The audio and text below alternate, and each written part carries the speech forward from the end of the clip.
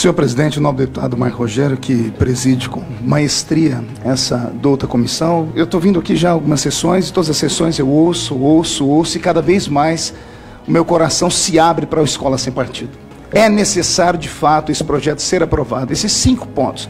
Nada mais do que isso. Cinco pontos que são meritórios, que têm educação, que são clássicos e não ferem a ninguém, muito menos direito, quer seja de professor, mas protege o aluno. Eu vi aqui a professora Vânia, a Camila e todos que vieram aqui, né?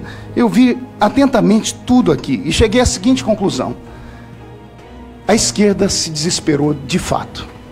Chegou o fim. Caminhamos para o sepultamento da esquerda nacional. Não apenas nacional, como nas Américas e em todas as partes do mundo. Nunca funcionou. O pensamento é bonito, a história é lúdica, mas ela não faz sentido. Não faz sentido. Queria fazer uma pergunta direta à senhorita Camila. É, você é presidente da União Brasileira dos Estudantes Secundaristas, né?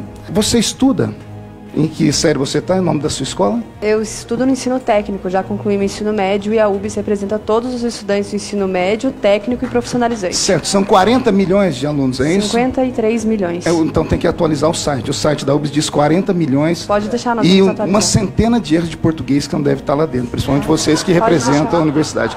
Pois bem, você fala por todos esses alunos? Sim, fui eleita para isso. A sua camiseta também fala por todos os seus alunos? Não, não o que está nas costas. Não, fora Temer. Essa camiseta não é minha, mas. Ah, é então... que eu então- peguei emprestado de um diretor ah, da sim, entendi. chegou aqui. Inclusive, senhor presidente, Vossa Excelência disse nas reuniões passadas que nenhum debatedor deveria sentar na mesa com qualquer símbolo que identificasse seu posicionamento político. Né? Eu poderia ter feito isso antes, mas eu logo entendi que ela não foi avisada ou como aconteceu que ela precisou usar uma camiseta aqui às pressas. Mas a sua camiseta qualifica o debate e desqualifica você para estar sentada nessa mesa. Desqualifica.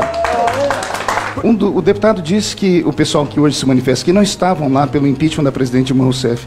Mas eu tenho uma foto minha aqui, da nossa nobre Camila, no discurso do presidente Lula, quando ele não pôde ser aceito como ministro aqui. Está ela ao lado do Gleice Hoffmann, junto com outras pessoas.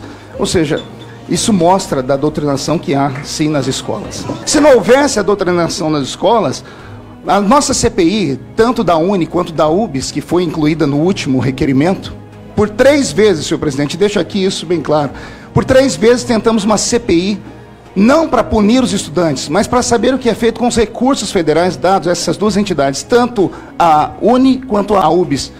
E houve um aparelhamento aqui dentro contra os deputados. Infelizmente, nós não temos um presidente da mesa que tenha coragem, firmeza para colocar a CPI para andar, porque por três vezes me fizeram correr dentro dessa casa e colher assinatura. Colhi mais de 600 assinaturas.